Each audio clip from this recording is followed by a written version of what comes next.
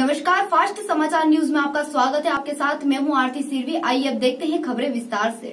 रायसेन जिला मुख्यालय पर प्रधानमंत्री नरेंद्र मोदी के दोबारा प्रधानमंत्री पद की शपथ लेने पर यहाँ मिशन पीएम मोदी अगेन और डॉक्टर शेजवार फैंस क्लब के सदस्यों ने संगठन के बैनर तले जश्न मनाया और जमकर आतिशबाजी की और मिठाई बांटी। दूसरी बार भारत के प्रधानमंत्री श्री नरेंद्र मोदी जी प्रधानमंत्री की शपथ ले रहे हैं। उसकी खुशी में हम देशवासी नगरवासी सब खुशी में मिठाइयाँ फटाके चलाकर खुशी एहसास इजहार कर रहे हैं।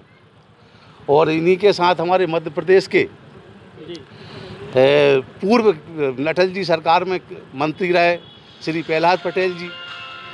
वो भी मंत्री पद की शपथ ले रहे हैं। तो हम सभी मध्य प्रदेशवासी सभी लोगों को बहुत बहुत उनको बधाई शुभकामनाएँ देते हुए खुशी इजहार कर रहे हैं। रायसेन से भारत मीणा की रिपोर्ट।